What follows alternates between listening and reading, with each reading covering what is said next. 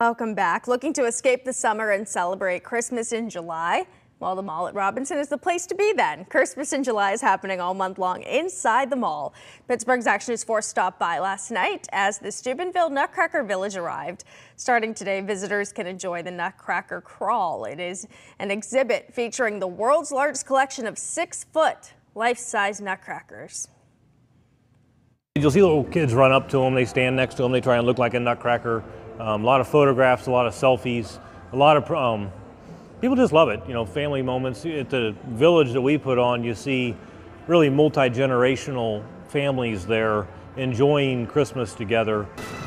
There's also a forest of trees designed by local nonprofit organizations, and visitors will have the chance to vote on their favorite trees.